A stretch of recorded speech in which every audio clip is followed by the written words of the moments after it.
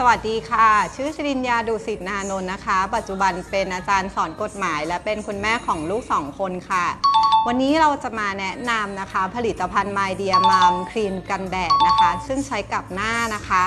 ผลิตภัณฑ์ตัวนี้นะคะ ใช้แล้วซึมซับเร็วไม่เหนียวเหนอะหนะนะคะ แล้วก็ไม่บล็อกเออรูขุมขนของเราด้วยค่ะ คุณสามีก็ยืมไปใช้ได้เหมือนกันนะคะ ตัวนี้นะคะเหมาะสำหรับผู้ที่ทำงานข้างนอกนะคะ ที่ต้องออกไปเจอแสงแดดนะคะ หรือว่าคุณแม่ที่ต้องอยู่ในระหว่างตั้งครรภ์นะคะ ไปจนถึงหลังคลอดก็สามารถใช้